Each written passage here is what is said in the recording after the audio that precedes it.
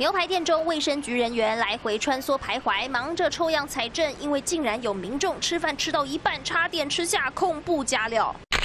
一只完整的蟑螂尸体卡在酥皮上，触角还浸泡在浓汤里，胃口瞬间倒光，民众直呼离谱。蛮恶的啦，一个餐厅应该要卫生一点吧？这样就不太敢吃。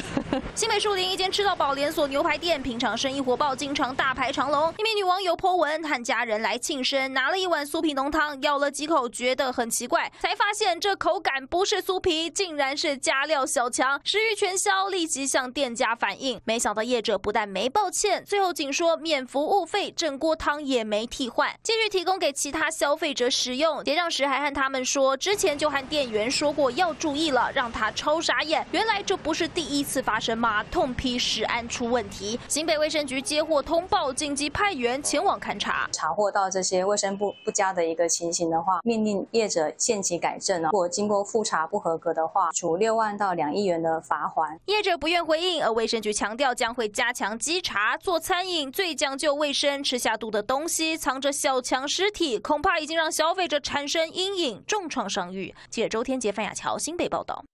我是王一仲，新闻的产业带给我满满的使命感，不论是贴近民生的议题，或是国际的话题，我都能够精确、真实传达最完整的资讯给各位观众。